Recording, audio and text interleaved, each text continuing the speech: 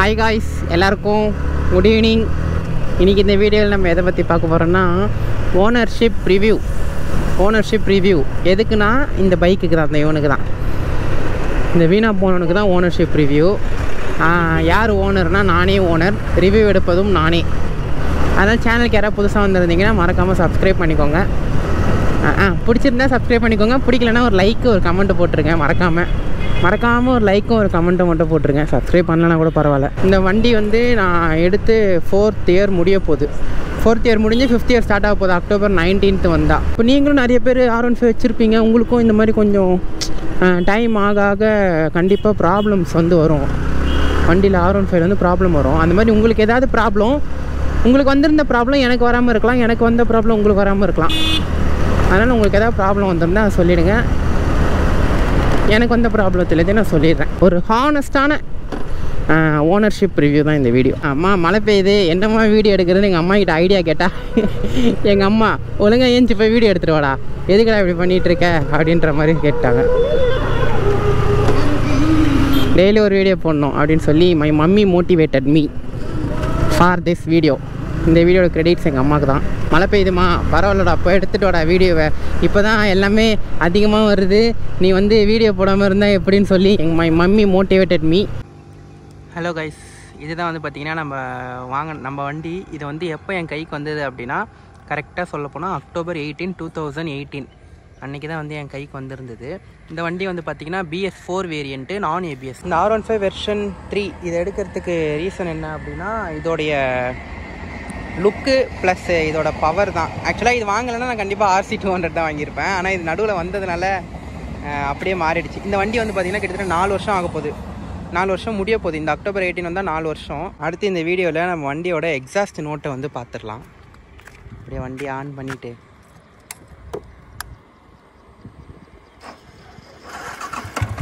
அடிக்கடிக்கு அப்படி தான் முக்கம் மற்றபடி எல்லாம் நல்லா தான் இருக்கும்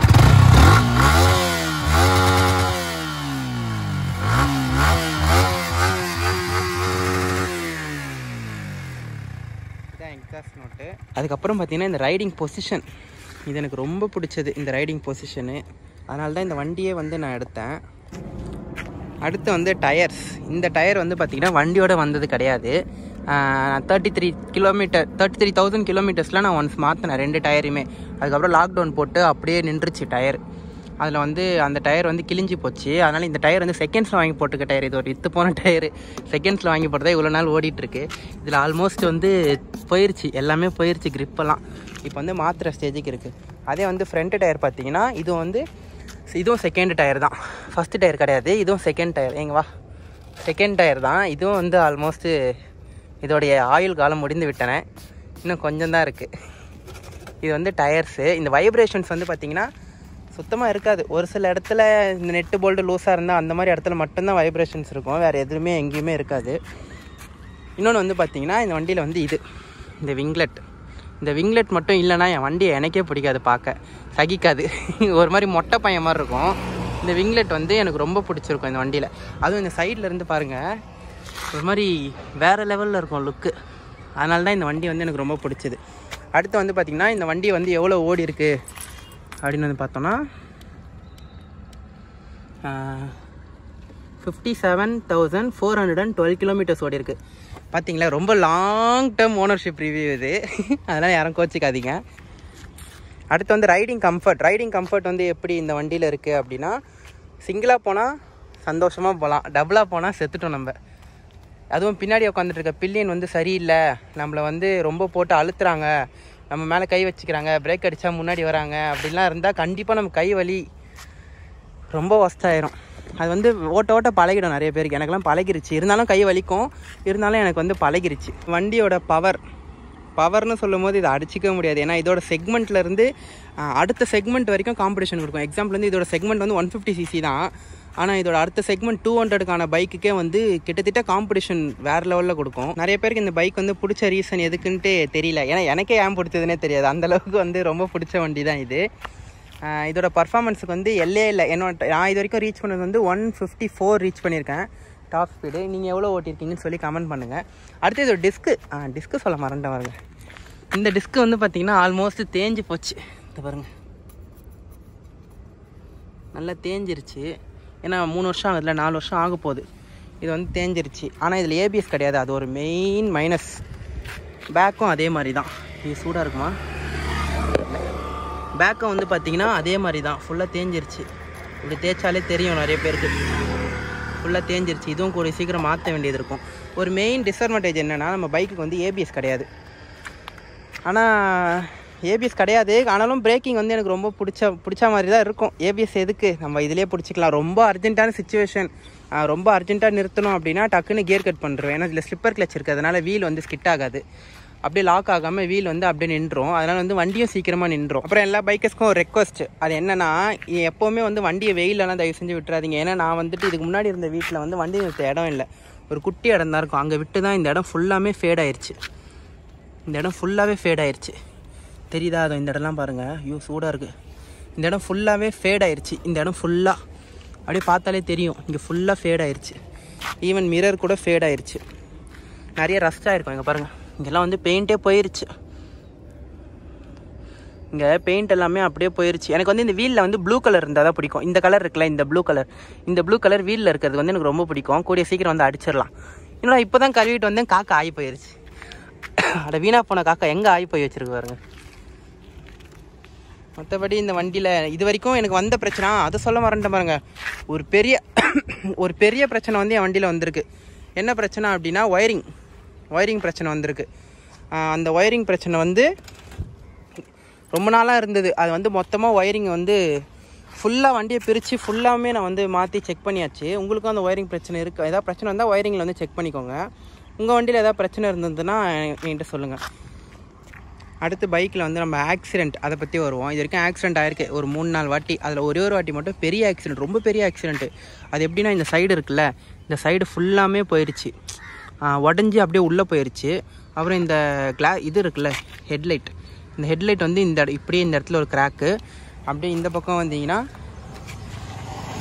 இந்த இடத்துல ஒரு கிராக்கு அப்படியே அப்புறம் இங்கே ஒரு கிராக் இது வந்து ஃபுல்லாகவே உடஞ்சி போச்சு ஹெட்லைட்டு இந்த சைடு ஃபுல்லாமே காலி. ஃபுல்லாமே ஆல்மோஸ்ட் ஃப்ரண்ட்டு ஃபுல்லாகவே இதை பாருங்க இப்போ கூட இருக்கு தெரியுதா? இது வந்து செகண்ட் டைம் தேர்ட் டைம் ஆகும்போது இந்த இடம் ஃபுல்லாகவே உடஞ்சி போயிடுச்சு இந்த இடத்த தவிர இந்த மாஸ்க்கை தவிர இந்த இடம் ஃபுல்லாமே நான் மாற்றினேன் என் ஃப்ரெண்டு ஒருத்தன் ஒன் தேர்ட்டியில் போய் கீழே விழுந்துட்டான் காலங்கத்தில்.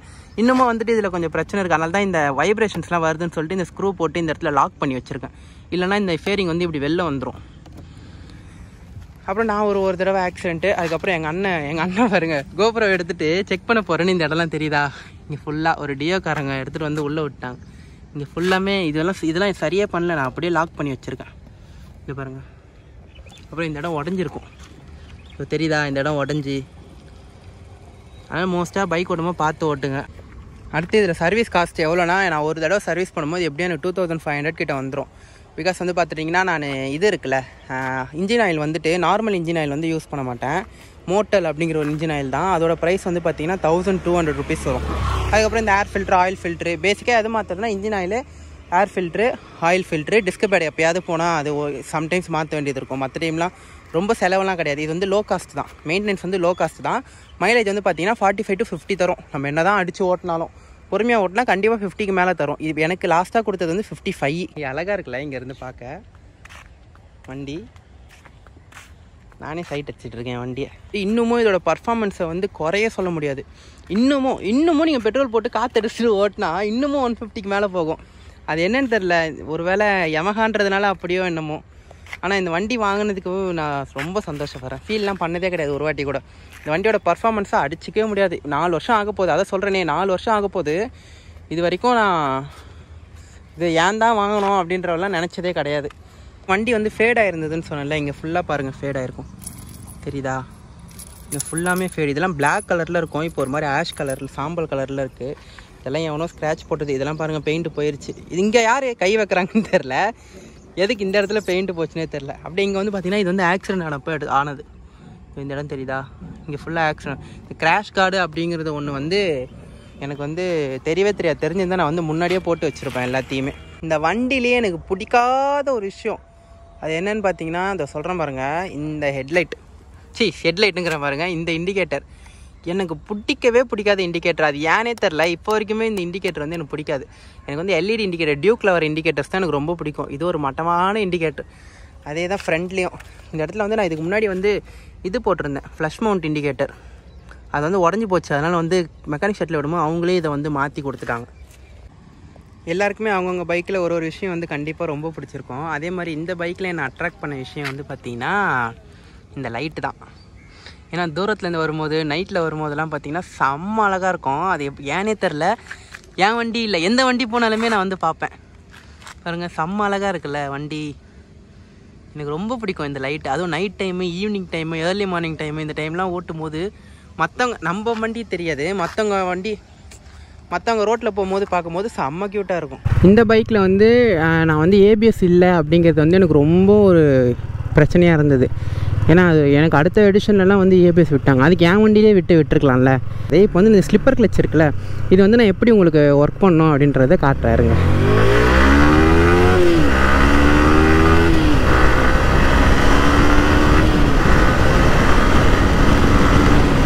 வந்து இது அப்படியே பிரேக் இப்படி